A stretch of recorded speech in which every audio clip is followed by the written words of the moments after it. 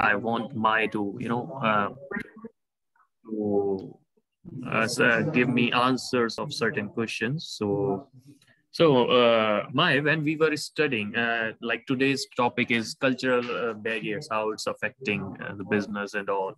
So, my when we were studying in at uh, University College Dublin, we have classmates from uh, from Germany, we have classmates from Ireland, we have classmates from USA, we have classmates from China, and like you have classmates from India, I have classmates from Vietnam, and we were used to do the group work uh, and many meetings together. So, is is there any instance comes to your mind when when you uh, you know when you felt uh, like uh, the meeting is going tough because because of cultural differences? If if you can share any any of that instance your experience yeah yeah so uh, yeah when you study in university college dublin you know like you say that you have a chance to work in teamwork. So I think that in that situation, I myself, at the first time, I have a lot of difficulty working with people from many, many countries. And for me, you know, that we are Vietnamese, so we are quiet in all situations. And especially when I, I have a good work with a student in entrepreneurship course, and student, a Germany student, and you know, student from United States, they are type, kind of talkative, you know. So just, I feel like I I cannot contribute anything to that, and they keep talking, keep talking, and I, I feel like as a student, only student from Asian country that you know, a lot of difficulty. So yeah. Oh, right, rightly said, and thank you for sharing your experience. Now, let me let me share my experience. When I had my first group meeting, and and it is for all of you to know, I, in my group there were like a group of around six people, and we have assigned a, a group project by by our instructor. And in that six people, uh, two were from Germany, one is from Ireland, and uh, one is from uh, USA, and I, was from India, and one more I, I forgot the nationality. I guess from uh, France or somewhere. Okay, uh, so when we when we were planning for group meeting, first of all, there was a hassle in in in planning for what time we should meet. Like like the German was very much uh, you know uh, they were saying okay keep keep meeting in the afternoon hours because uh, after that we will wind up our uh, you know work uh, till till five or, or five or six. Uh, irish was a little bit he said okay keep keep meeting. It's it's a group meeting. It's a meeting of we all. So let's keep it in the evening sometime and have a nice you know have a tin of beer and then we will sit together. But at the same time i I was I was thinking, okay, let's let's finish it up in the morning, and then we will. Uh, I'll go to my my work because I was doing the part time job that time. So, and when when the meeting we have we have scheduled meeting at around like two p.m. afternoon, and what happened when we have scheduled meeting? The Germans was very apt, and uh, and they you know uh, came on time for for the meeting. Uh, like uh, like the meeting was about to two and they, they, they were there at 155 five minutes before. Uh, but uh, um, like I, I, also reached around like two two-ish and but uh, others were not on time. And when we were discussing things uh, initially it, it was uh, hard to understand the accent and the english of each other. And few of them were not understanding the english uh, english at all. So so that was the problem so, uh, so while while doing the group meeting, a, a, small group meeting, we faced these these many problems. Slowly, as as the time passed, we we you know uh, get to know about each other, and uh, then the, then the things were sorted out. Uh, because because we were able to understand each other so when when you talk about cultural barriers from the you know from the perspective of business how how it affects business it affects a business a lot. Now nowadays what we are seeing. Nowadays we are seeing like diverse workforce uh, you know uh, people uh, uh from different uh, communities different nationalities religion age group are working together those those people are working together and in in in one team. So so uh, first of all it is very complex to work with your own country people but it is uh, further more uh, complex to work with another country's people and then accordingly adjust uh, yourself to according to them like uh, i hope you you can see my screen. There's a news article coming on my screen. A generation grows up in china without google facebook or twitter. Today i'll only discuss certain papers and articles and all. Like uh, what this article is saying hong kong. Wei Dilong 18 who lives in uh, southern chinese city of Luzhou likes uh, basketball, hip hop music, and Hollywood superhero movies. He plans to study chemistry in Canada. And when he goes to college in 2020, what happened? Mr. Wei is typical of Chinese teenager in another way. And two, and he, he has never heard of Google or Twitter. He once heard of Facebook though. It is may, maybe like Baidu. And he asked one recent, uh, recent afternoon, referring to China's dominant search engine, a generation of Chinese is coming of age with an internet that is distinctly different uh, uh, different from the rest of the web so so a person is in his is in his teenage and is looking to you know uh, study in canada. And and the age 18 and is looking to study in canada going canada from china. And imagine a people at the age of 18 he didn't heard about google twitter have only a uh, you know uh, only glimpse of facebook and all. Because because when you are in china you have a censorship over facebook twitter google and all they they are they are working on their own social media platforms. So so the first cultural barrier is very much uh, you know uh, visible here when when any business expatriate or any company enter in a country like china. So they they, they believe or or they expect them in today's era, social media and social networking sites are very much used for marketing and for business.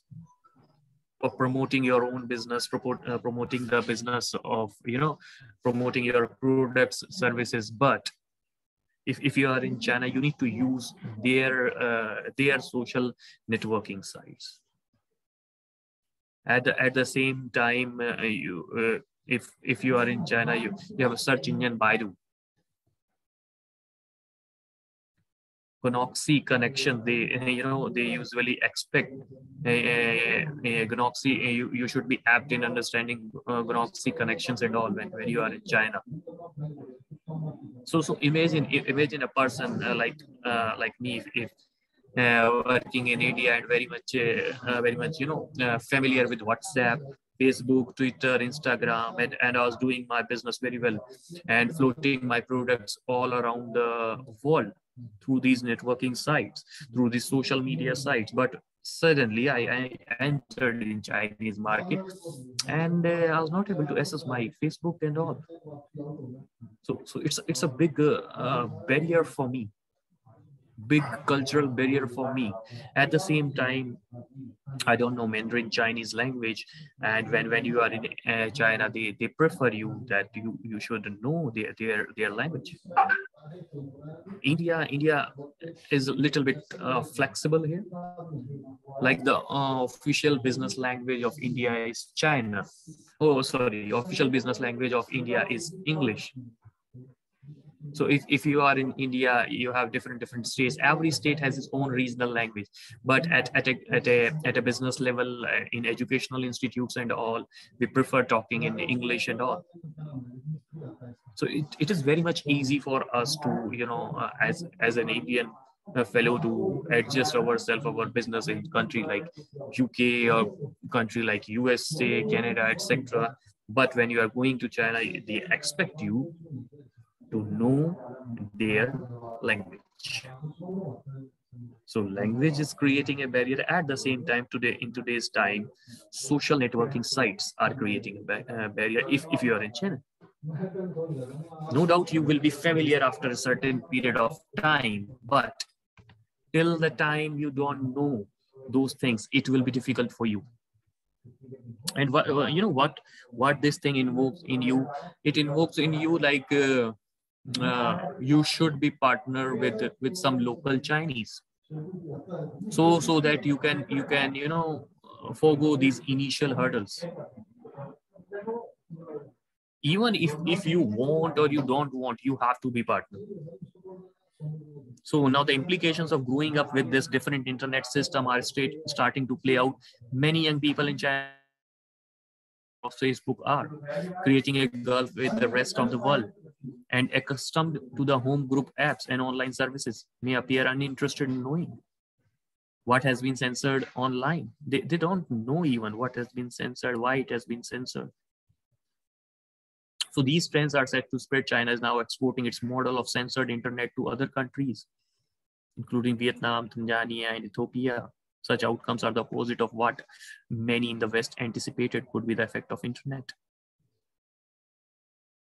So to, to an extent, if, if all the countries will start, you know, behaving in the same manner, global platform. And if we will not come on the global platforms, imagine India have their own social media apps, India have their own search engine, uh, UK have their own search engine, social media apps, China have their own, Vietnam have their own.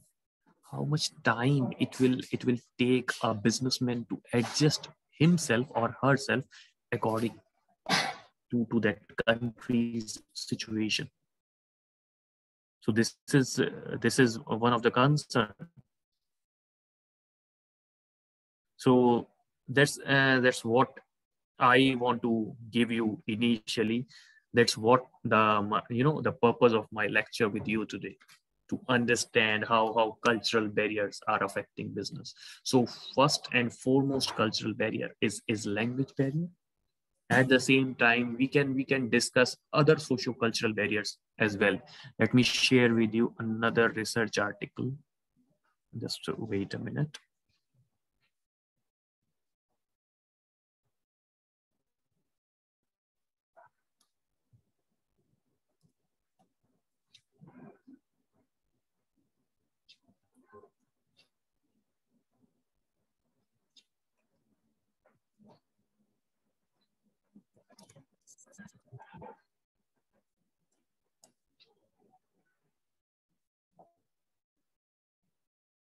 Okay. So I'm sharing with you all one of the case study written by me, and it was uh, published in Scopus in 2020. Okay. How uh, cultural similarities help. Uh, Xiaomi's journey in India, a roller coaster ride. Uh, do uh, do all of you know Redmi, Xiaomi, from which country this this company belongs to? Any one of you?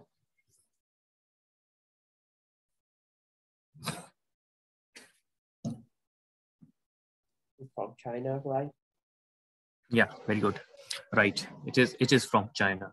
And it, it has a tag uh, tagline also that me has been called Apple of China. They they are so famous and they are they are providing the smartphone at, at a much cheaper rate in comparison to Apple and with, with good features. So Xiaomi uh, or Redmi, whatever you say, entered in Indian market in 2014. After China, India was the most important market for Xiaomi. With the help of this case, the authors will discuss about the market entry and the initial success of Xiaomi in India. Culture plays an important role for any foreign market player. In this case, there will be discussion on cultural similarity between India and China too. Slowly and gradually, Xiaomi become the most dominant player in the smartphone segment in India. With the help of this case, the author will explain, uh, with the help of this case, the author uh, will explain uh, market entry strategy, unique business model of the company that helped it to gain maximum market share.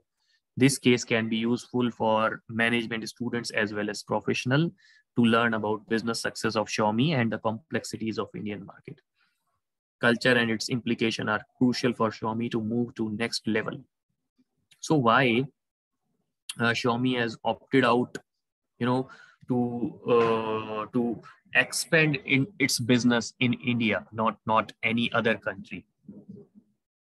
Now, as as culture is is a barrier, the cultural similarities can also be important and prolific for your your business now let me quickly move to a paragraph Xiaomi took the decision to enter in India because the host country has cultural similarities with the home country.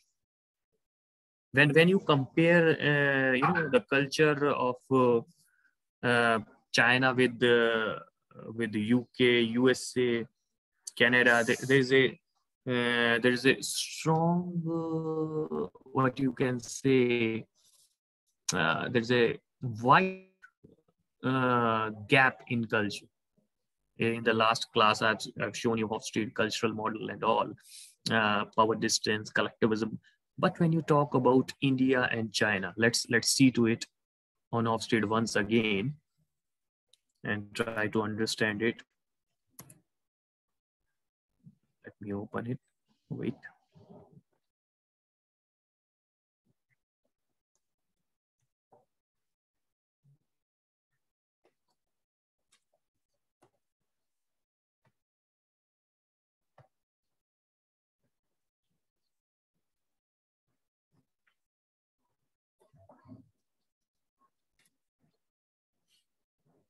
Hofstede cultural dimension.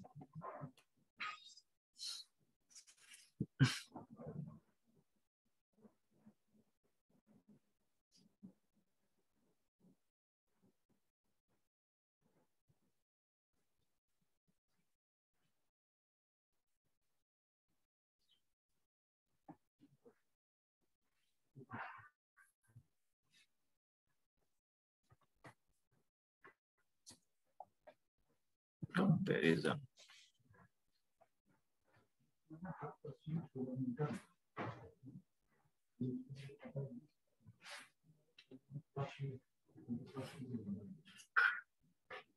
Okay, sharing my screen once again with all of you. Okay, now if we are taking India as one country, China as another country, UK, United Kingdom as the third country.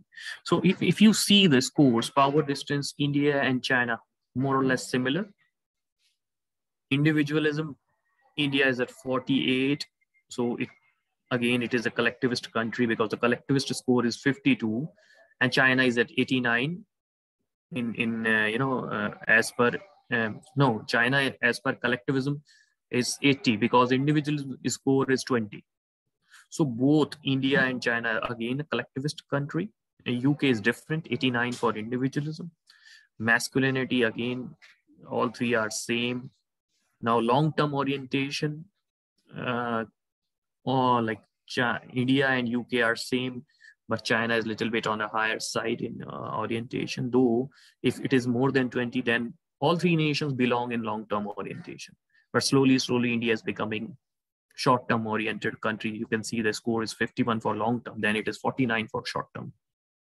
So why why uh, Xiaomi that that time? You know, uh, that is the reason. That's why they have decided to enter in uh, you know Indian market because they they want to go into such market where uh, uh, they will find the cultural similarity with China. Because it, if, if they will go in some other complex market, first of all, they need to manage their sales. At the same time, they need to manage the culture. Again, uh, going back to the case study.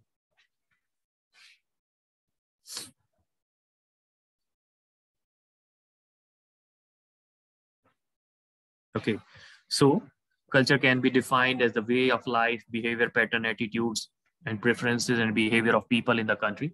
Indian culture has many uh, similarities with China because both Indian and Chinese show high respect to the elders. The business etiquettes are similar because all the power rests with the top management in both the countries. Hesitate to say no in both the countries like China and India to, to their, you know, uh, to their top officials. India and China are the examples of high context culture because people uh, often rely on indirect communication through various body language and other channels. Both both countries believe in you know in indirect communication. Both countries believe uh, for respect of elders, and there is a top uh, top down uh, you know top down approach of decision making. Whatever has been coming from top, uh, the people from bottom have to follow that thing. The number of people belong to middle level income is also high in both the countries, so they have seen that that aspect too purchasing power is more or less limited. In both countries, people share their preferences and choice with the friends and neighbors and family, families and relatives. Collectivism is more in China in comparison to India, but India provide a market preference in which people of different religions, choices, and language. Now there's another cultural barrier which comes, you know, into existence is religion. How religion is affecting the international business. Religion is an important aspect of, of culture. Like when when you talk about india uh, in in my last class also was talking to you when when you talk about india people in india you know are like 80% or more than 80% majority in india uh, belongs to hindu uh, hindu religion. When when you talk about uk usa the mostly uh, there are like Christians. talk about Pakistan, mostly they're like Muslims. So religious aspect you also need to take care of. Uh, let me share with you one story. Uh, like MACD tried to enter in India. MACD is uh, doing a very good business in India.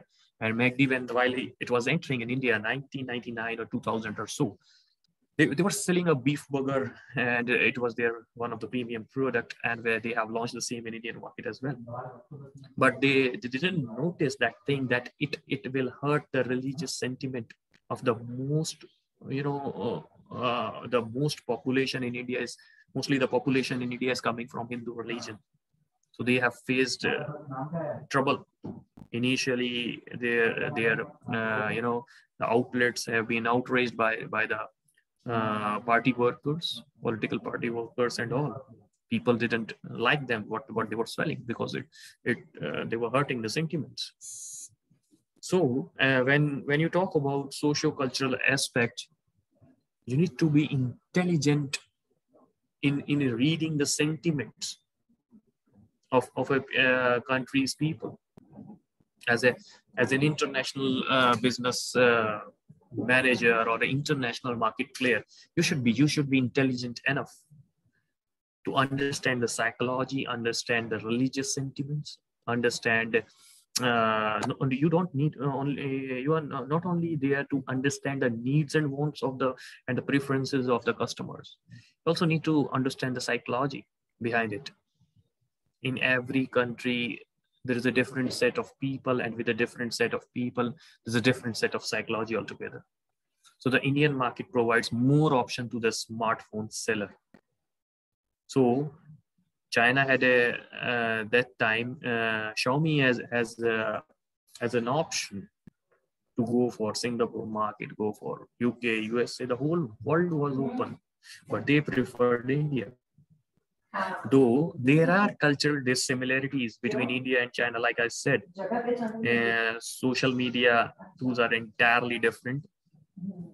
At the same time, language is different, search engines are different, but even in that dissimilarity, they they you know they have seen cert, uh, some more similarities which they have uh, they they would have found difficult in in other nations now, what is the initial success of Xiaomi in India? Why it was so successful that it, it became one of the dominant market player in India? It, it has affordable pricing. So porters argued about generic business strategies to gain competitive advantage in the business. So there are two basic strategies in business, low cost leadership and differentiation. So Xiaomi focused on uh, low cost business strategy to achieve success in Indian market. All the success of uh, Xiaomi is attributed towards cost leadership strategy. So they, they have seen this thing like both the countries, either it is India or, or it is China, both the countries are run by cost leadership. If, if you can sell the product at a cheap uh, price, you will found more number of buyers. This, this is an aspect of, you know, you can say purchasing aspect in both the countries were similar. So the major factor behind the success of uh, Xiaomi phones in Indian market is the affordable pricing of Xiaomi phones. And Redmi is selling its phone near to its actual cost of the mobile phone. The, the cost of device is, is not giving higher profit margin. They were happy to, uh, not to take higher profit because they were actually setting up their base in that market. They have a unique service business model. They have a market uh, strategies of uh, Xiaomi in India. What were the strategies? Xiaomi has adopted a divergent market strategies to capture customers in Indian market. Most of the social networking sites like Facebook, Twitter, and Instagrams are banned in China. Indian youth is very much attractive and active on those sites.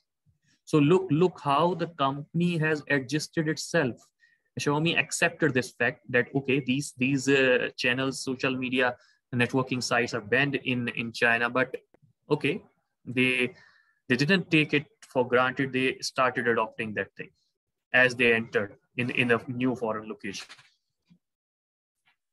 So the company marketed its product through software like through Facebook and other social networking sites because they have to capture the customer. The CEO of the company believed that the word of mouth publicity by satisfied customers can help in creating positive vibes in the market, and it is the cost effective way to market the product. The company is successful in establishing a two way communication with the customers through social networking sites. Xiaomi is selling at a lower price and it does not spend dollars on marketing. Unique business model, they were selling it through online exporting. They don't have, you know, their own physical stores in India that time when they entered through only through the help of exporters they were selling their mobile phone. So this this was a good uh, thing global ambition and all. Uh, let me quickly go to another article because i have less time. Also need to leave you by 1250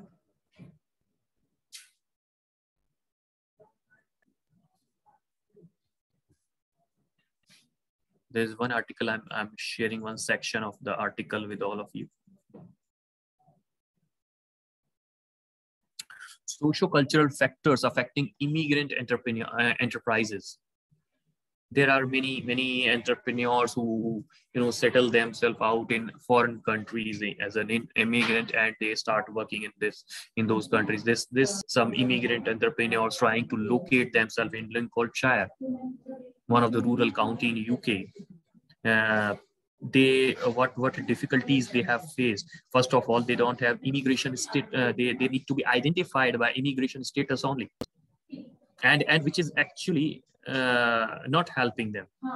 Because if we, they would have positioned themselves uh, uh, a person from the local economy they, there would have been many advantages to them but not as an immigrant.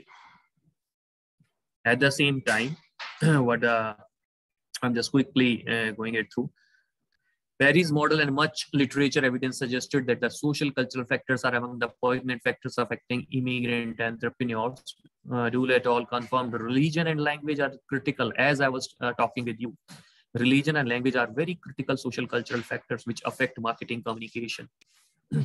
how, how you will perceive the, you know, the customers from that market understanding customer needs and size of market lifestyle, buying habits, stereotype behavior, certain customer have have their stereotype uh, thinking they don't want to purchase from you know uh, an outside brand they are very much comfortable from their own country brand Mandy and Cole found that ethnicity and lack of cultural capital are vital determinants. Now uh, let, let me give you give you an example of indian entrepreneur. I i don't know name or not. There's a, a brand in india called patanjali t-a-t-a-n J-A-L-I, Patanjali. Patanjali has been started by Baba Ramdev, the owner and founder of Patanjali. And during this COVID time, it, it, it gained a, a lot of importance because they're actually ma making Ayurvedic product. Ayurveda coming from uh, right from ancient Indian uh, times and uh, following rituals, Indian rituals and all. So they, they are making medicine using Indian methodologies and all, Indian Ayurveda and all during COVID time, people started uh, in India, people started believing a lot in yoga. And now, uh, Baba Ramdev, uh, the Patanjali company, saw a great opportunity there. They have made several products, not only for Indian customers. They have made their product, you know, started selling it. Uh, they were selling it before also. They started selling those Ayurvedic uh, products with much uh, precision or with much uh, uh, much speed in the outside market because there was a there was a thinking going on in the air are very much beneficial when it comes to uh, you know getting relief from covid-19 pandemic and all. So there is a cultural entrepreneurship too. And the, uh, the beauty of the cultural entrepreneurship is that you can take your culture to the other countries by introducing those things in the products and services okay so i'll not take much of your time as i have four minutes left for 1250. If any one of you have any questions, you can ask me.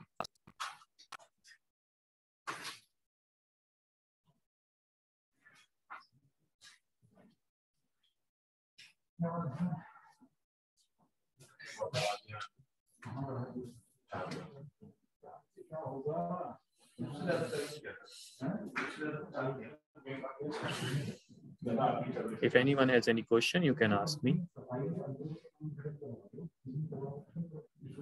because I need to wrap up the class in another four minutes or so.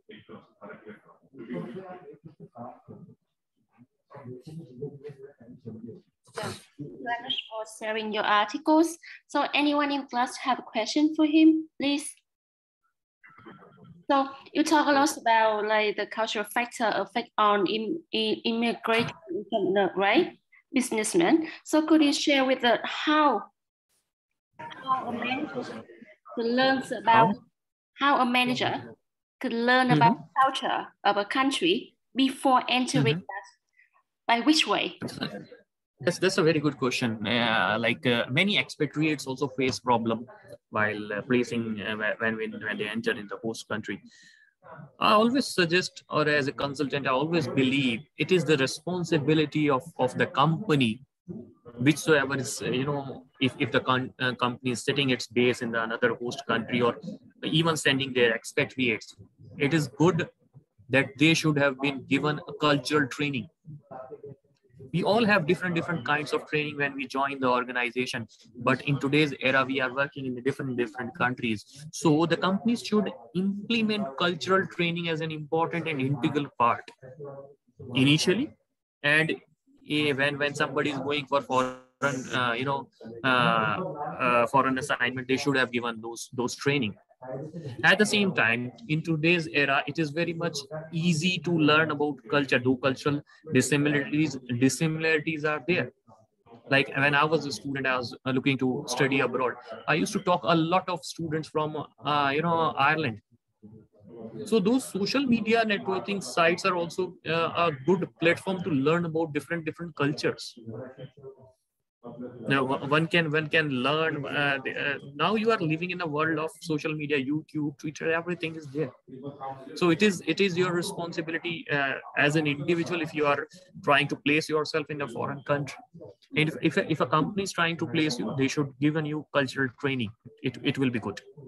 I think that cultural training is important and information from the internet is important. But i believe that as long as the manager embedded in that culture they can like have a fully understanding of that culture because there are many parts of that not that easy to find on the internet. I believe so.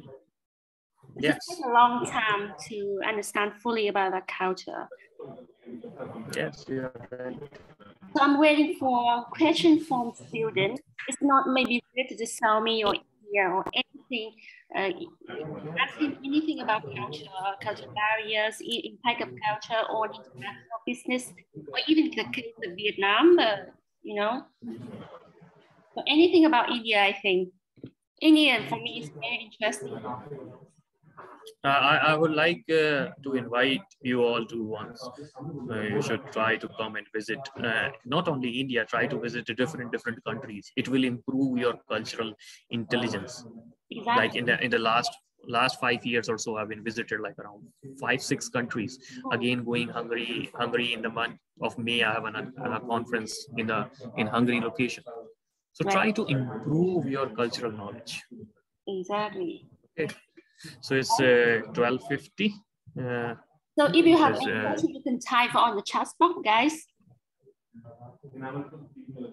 Just,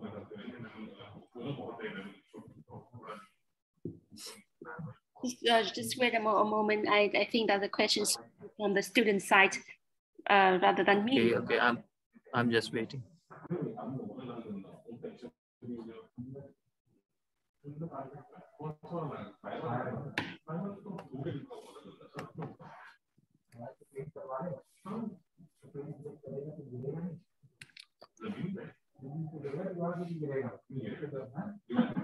Okay, any question is reflected? I guess, uh, okay. Yes, you have written something. The case is not familiar with this uh, when talking about this.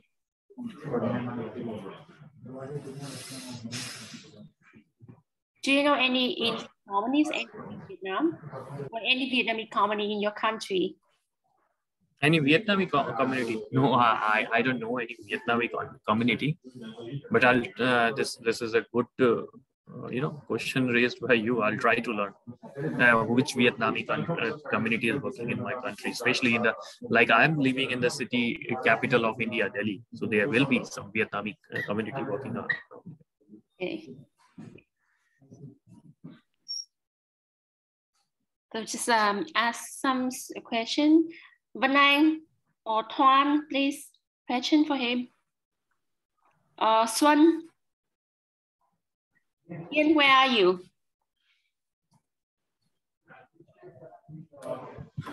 Hoàng